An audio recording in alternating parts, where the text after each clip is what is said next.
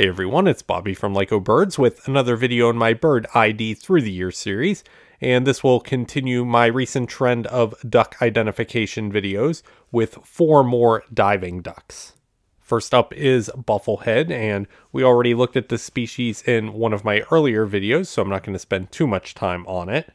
Male buffleheads have an all-white body with black back, and then a black head with a large white patch that wraps around the back of the head.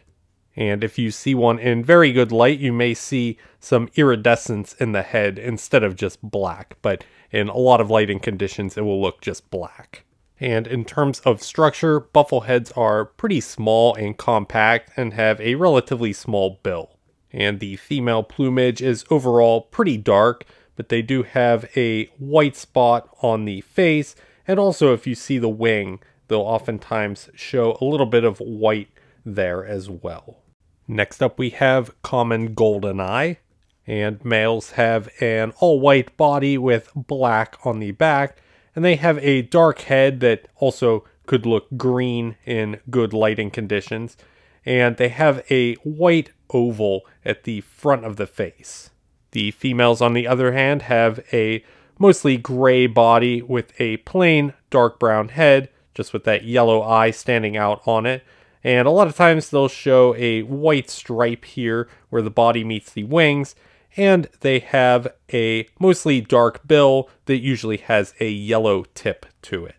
Although the bill color can be a little bit variable and some individuals have a completely dark bill and some show quite a bit of yellow. And another structural thing to notice is oftentimes they'll show a pretty tall and peaked head, so you almost get like this triangular shape. And that is shown on the males and also on the females. Next we have ruddy duck, and these are pretty small and compact, and they have a pretty long tail that oftentimes they'll raise up into the air. And the head shape is pretty recognizable because they have this sloping forehead that smoothly transitions into the bill, but then the bill kind of curves at the end. And in terms of plumage, males go through quite a bit of change throughout the year. The breeding plumage ones have this very reddish color to the entire body, and they have a white cheek with this very dark cap, and then they have this sort of powder blue bill. And then in non-breeding plumage, they just have a dark bill. They still have that white cheek and dark cap, and then the body is more of just a brown color. And the females are mostly just brown, but they have a dark cap, and then they have this dark line that goes through the face. So in this smaller picture, we have a non-breeding male here with that white cheek and dark cap, and then a female here with that dark line through the cheek. And finally, we have long-tailed duck. And these are extremely variable in plumage, but they have a pretty rounded head and a pretty small bill for their size.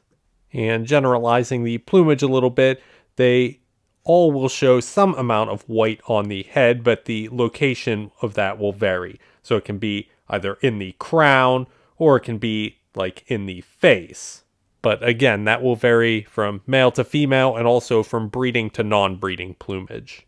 And of course, the males have this extremely long tail that's almost unmistakable. But sometimes that's not held up in the air and it's in the water, so it can be a little hard to see at times.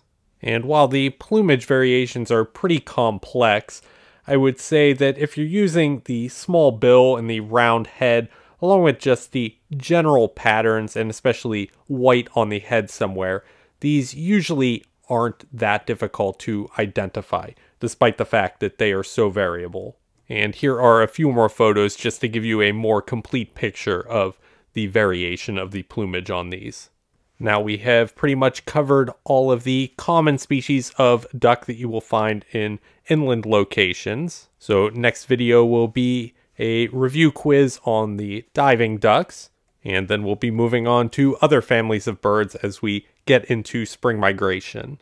So if you're finding this series helpful, please like and subscribe and consider signing up for my daily bird ID quiz emails at lycobirds.com slash email. It's free and easy to unsubscribe at any time. And I hope you will join me in my next video. Thanks for watching.